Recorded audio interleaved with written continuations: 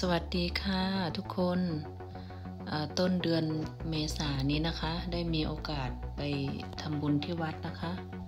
บุญถวายพัฒหารค่ะ ก็ขอแบ่งบุญให้กับผู้มีบุญทั่วโลกทุกท่านนะคะ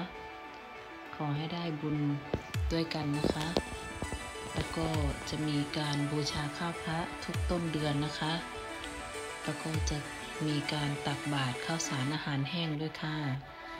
ขอให้ทุกท่านมีส่วนในบุญนี้ด้วยนะคะ ไปรับชมกันเลยค่ะ